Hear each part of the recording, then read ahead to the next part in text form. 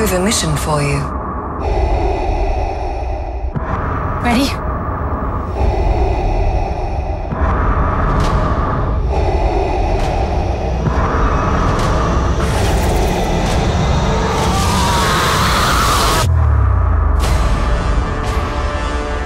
Łotr 1. Gwiezdne wojny historie. May the Force be with us. W kinach od 15 grudnia.